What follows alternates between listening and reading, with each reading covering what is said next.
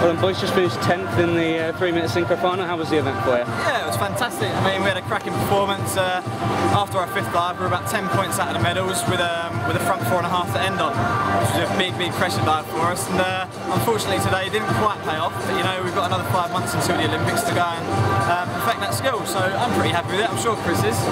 I'm really, really happy with it today. I mean, it's the first time using front four and a half, first in the prelims, then in the final. So uh, to expect us to nail it would have been a tall order, but um, you know we did we did okay. Um, we got a good score. Like that score is good anyway. Uh, to finish to finish tenth in the world, you know, it's doesn't sound that bad, does it? I'm not tenth the world, you know. So yeah, we're happy with that, and uh, we know what we need to work on for 2012, and Yeah. we're just going to work on it. Your first two optionals as well really put you in contention back after the the required as well. I mean, you must have been really pleased how you picked it up with those two. Yeah, I mean, even even with a third dive, or, sorry, our third optional, you know, inward three and a half, we still only scored, I think, about 69, but we were still only 10 points out of the medal, you know, pole position. So we were really happy happy with that. It just came down to front four and a half. Yeah.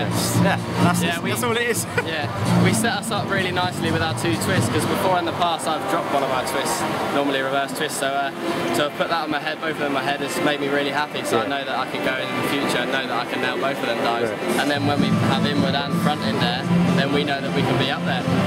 Obviously, we weren't looking to qualify because already got the place. But did you feel a certain amount of pressure anyway, being that it's the first time competing in, in this massive arena? Yeah, th- this morning in the prelim there were a little bit of jittery nerves, but this afternoon uh, our main goal was to come in here and just have a cracking time and enjoy it with everybody. And it was obvious we that we did did. exactly that. A smile on the face. You know, we Yeah. came in here, had the crowd that were just going, hey, you know, it was Yeah. fantastic. And I just can't wait for London 2012. You know, five months time. It's not long. Yeah. Well, well done, guys. Cheers. Thank you. Appreciate it.